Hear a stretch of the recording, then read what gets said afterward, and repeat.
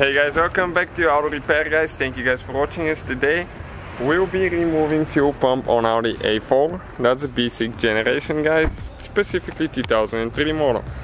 We have a few for parts cars here and we need to get the fuel pump out of one. So we'll need to remove the seat for first guys. What you need to do, grab on the front on each side, left and right, and you need to pull up and kind of like push in, okay? It's stuck, that's where it goes, you can see. And we can actually pull the seat out. Some seats, uh, rear seats have uh, heated seats, so if you have heated seats you need to disconnect the cables, which is not very complicated procedure at all. So now, you guys will need to get the screwdriver, okay, and remove uh, remove both caps here. Okay, we have one on this side, one on the other side. Okay, just with a Phillips screwdriver. It's almost out as you can see.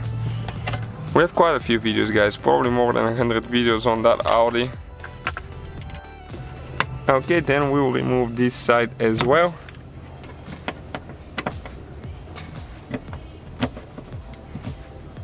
And one of them is really really tight. As you know, we got one of those for parts car and the other to rebuild it, but it didn't work out for some reason. You can check out the videos on World Mechanics, our second channel. We explain what happened and how we lost quite a bit of money on that deal. Yeah, okay, this one is out now as well. So we'll demonstrate how to remove the whole fuel, fuel pump assembly. Okay, this one you need to push down. Okay, you need to pry this up. Okay, check it out now. When you press on it down, okay, like that, it releases it. Okay, now watch your eyes. Always wear eye protection and gloves because it's gonna spray fuel. It's under pressure here. This one wasn't. Okay, what you need to do right here, the blue thing, you need to push it in with the tool, screwdriver and pull the holes out. We have the same situation on this side, we need to disconnect the wires now. Okay. This one here now. Pretty big, pretty big wire there.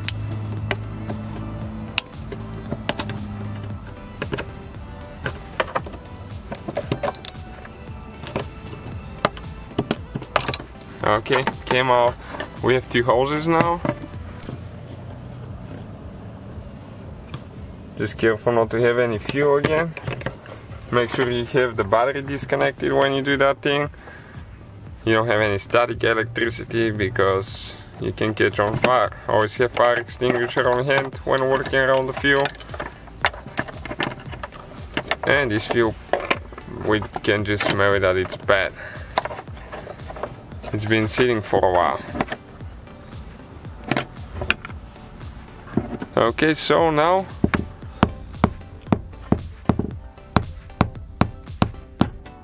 we'll just get the screwdriver and the hammer, we'll turn the lock ring counterclockwise.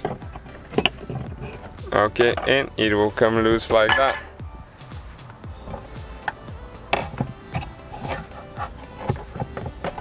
Okay it's a little bit stuck the seal there. Okay but eventually it will it will start moving.